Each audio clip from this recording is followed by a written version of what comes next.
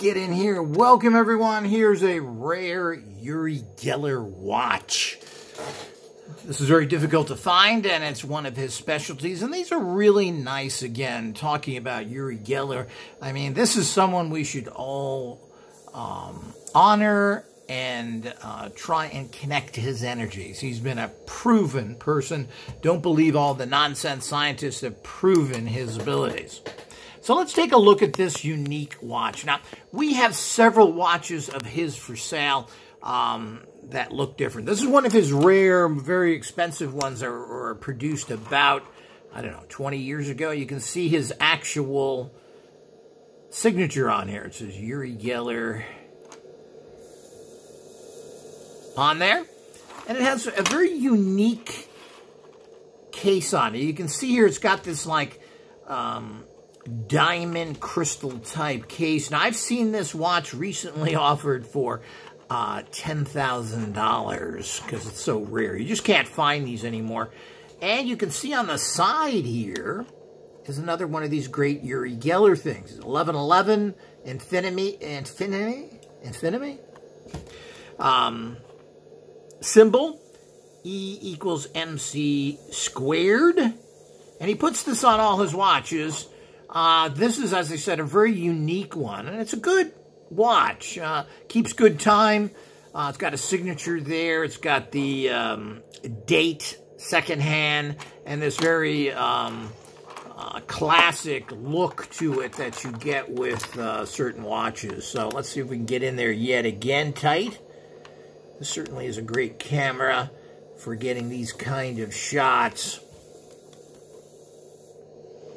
It's very attractive. It's got, uh, let's pull back a little here. It's got a metal band. You can see here, classic metal kind of uh, clip band. So you tuck in and then down, and you can adjust this, of course. Of course, you're not going to find this watch, and we don't have any for sale. This is my personal watch that I generally wear every day. But it has a nice metal links to it.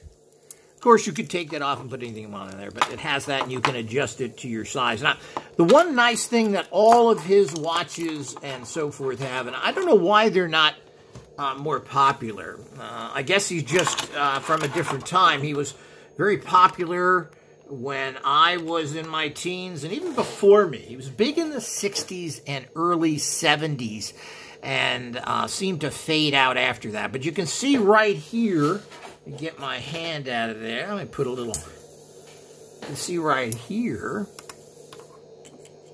this is a quartz crystal that he has charged. Now, this is in constant contact with your skin, obviously. So that's very nice and a very interesting feature. Now, uh, we have in here, and I'm not sure how much we can see of this,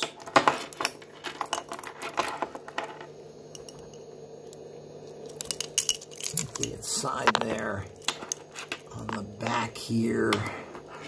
Probably not going to be able to see it very well, if at all.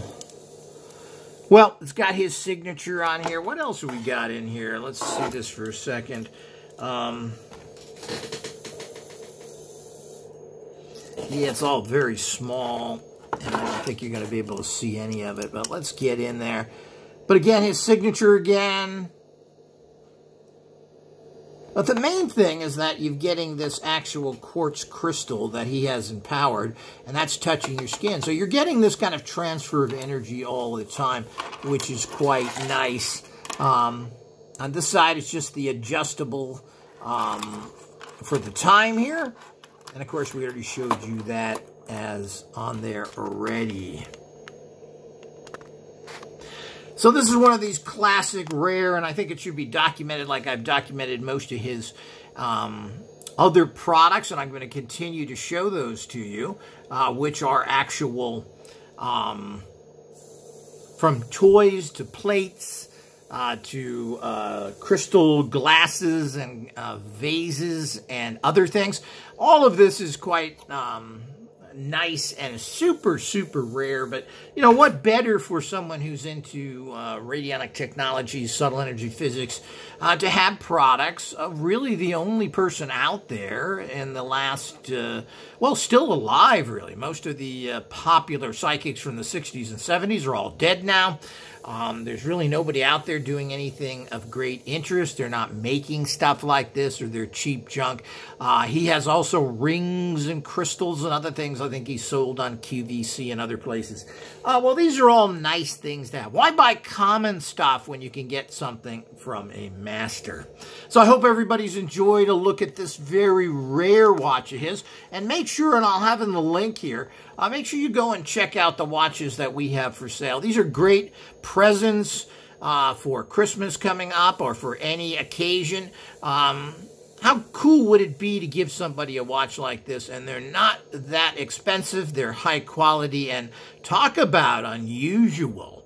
Um, if someone needs a watch or some others we, we have, well, this is fantastic instead of getting some of the junk that's out there. And um, it certainly is a piece of history and a piece of power. I hope you've enjoyed this. More coming.